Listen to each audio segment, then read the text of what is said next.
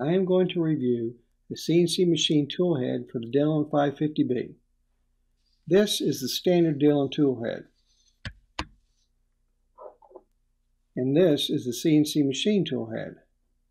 The first two things I notice is the CNC has a smoother, brighter surface and is lighter. The CNC tool head weighs 8 ounces and the Dillon weighs 15 ounces. However, the CNC tool head is made from 6061 aluminum, which I am told is stronger than the cast tool head. Therefore, I do not think the weight of the tool head will affect its performance. The CNC tool head is manufactured by Whidden Gunworks. However, I purchased it through UniqueTek and got the clamp version of the tool head. This means the two openings used to secure the tool head to the press have been threaded so that the tool head can be clamped to the press. The threading is actually stainless steel inserts installed by UniqueTek. The tool head also comes with the two screws and two washers needed for clamping. Let's take a close look at the threaded inserts. Looking at the threaded inserts, you will see a metal tang in each hole. This tang is used by the machine that places the inserts into the tool head. The tangs do not have to be removed. But be careful while inserting the tool head into the press. If there is resistance where the holes enter the press, it may be because the tang is protruding outside the hole. Just use a small metal punch to gently push the tangs back into the hole.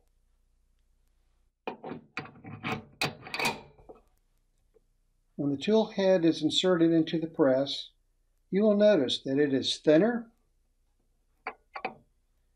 and appears to sit much higher than the Dillon tool head. The CNC tool head is 0.953 inches thick and the Dillon is 1.070 inches thick. I took four thickness measurements of each tool head, and the Dillon varied more in thickness. The smallest measurement was 1.069 inches, and the largest was 1.073 inches.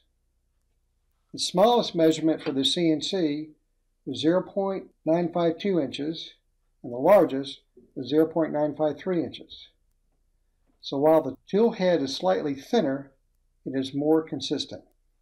The reason I say the CNC tool head appears to sit much higher is because while the Dillon tool head sits flush with the press, each die hole has a raised rim around it. The purpose of these rims is to prevent the die's lock ring from making contact with the press. The CNC tool head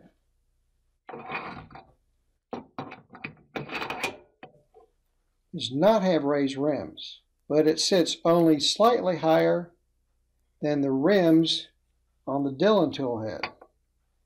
Therefore, they are close to the same height and the die's lock rings will not contact the press with either tool head. One advantage of the rimless tool head that I like is the lock rings have more contact surface with the tool head.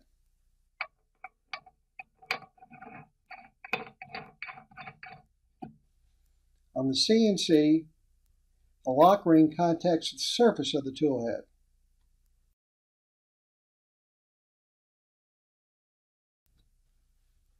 And on the Dillon, the lock ring can only contact the rim. So let's take a close look at the difference between the lock ring on the Dillon and the lock ring on the CNC. In this image, you see the standard Dillon lock ring. If you use Dillon lock rings, then the CNC tool head only provides a small incremental improvement. But if you use split rings or other types of rings, contact area between the ring and the rim is much smaller in the contact area between the ring and the tool head of the CNC.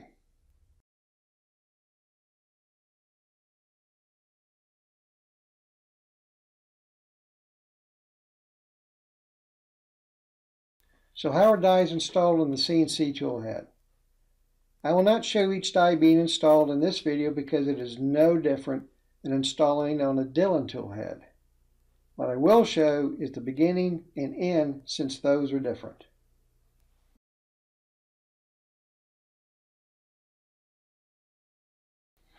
You want to place the washers on the screws. You want to be sure the rounded surface of the washer is against the screw head Let's take a close look at the rounded and flat surfaces of the washer.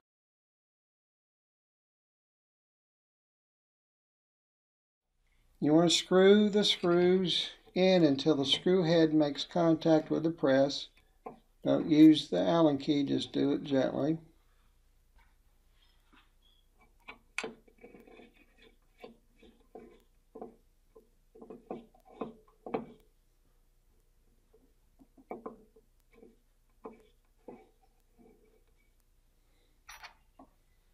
And then you want to back them out two full turns. One, two, one, two. It is important that the tool head not be clamped down when the dies are installed. At this point, you'll install your dies. If you're wondering how you can tell the difference between the top and the bottom of the CNC tool head, well, if you insert it upside down, it'd be quite obvious.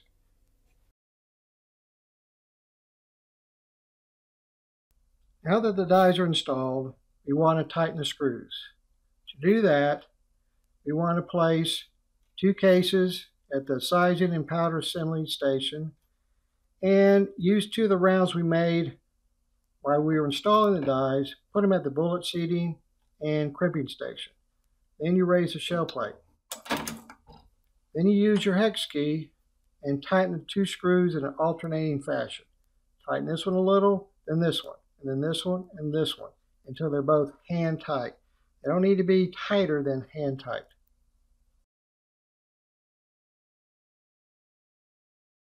So, how are calibers changed?